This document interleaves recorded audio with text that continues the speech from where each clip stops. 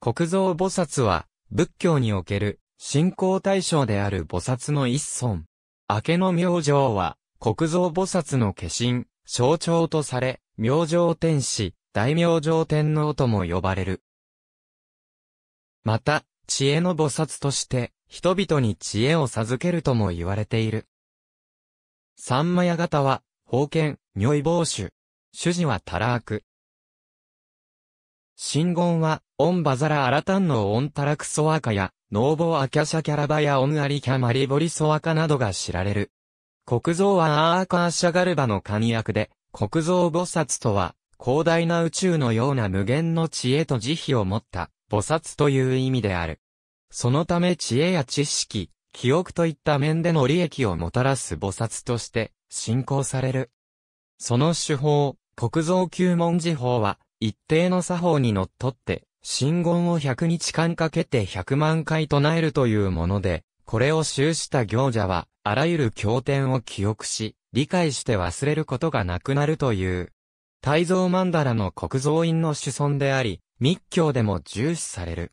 もともとは、地蔵菩薩の地蔵と国蔵は体になっていたと思われる。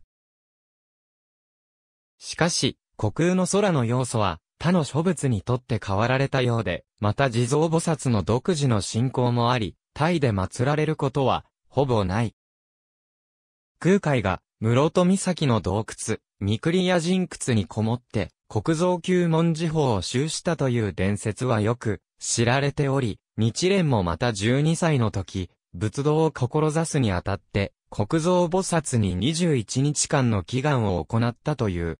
また、京都嵐山の法輪寺では、13歳になった少年少女が国蔵菩薩に知恵を授かりに行く13参りという行事が行われている。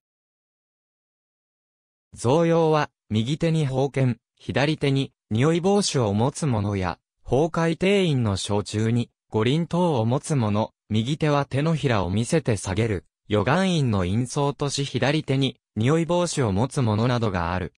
三つ目の贈用は、九文字法の本尊で、東京国立博物館像の国宝の画像はこれに当たる。彫像の代表例としては、奈良県大和郡山市、額安寺像、京都市、広高寺行動像などが挙げられる。奈良県斑鳩町、法輪寺の木造国造菩薩立像は7世紀に、遡る古像だが、当初から国造菩薩と呼ばれていたかどうかは定かでない。また、法隆寺の百済観音像は、宝冠が見つかる明治時代前半画までは、牧石名から国蔵菩薩像と呼ばれていた。木造五大国蔵菩薩座像の内蓮華国蔵菩薩像新五地像、平安時代国宝五大国蔵菩薩は、国蔵菩薩の見応えを群像として表したものである。国蔵菩薩の五つの知恵を表す、五知如来の変化身とも言う。息災、増益などの祈願の本尊にもなっている。五体の名称、方位、見色は次の通りである。五大国蔵菩薩の彫像の作例としては、京都、新五寺多宝塔安置の像で、五体揃ったものでは、最古と言われる。また、京都、当時間地位安置の五大国蔵菩薩像は、空海の孫弟子にあたる慶雲が唐から将来した像で、元は山科の安城寺にあったものである。崩壊の像は馬、金剛は獅子、宝光は象、蓮華は金字長、豪陽はクジャクの上の蓮華座に乗っている。国蔵菩薩を主題とした以下のような経典がある。ありがとうございます。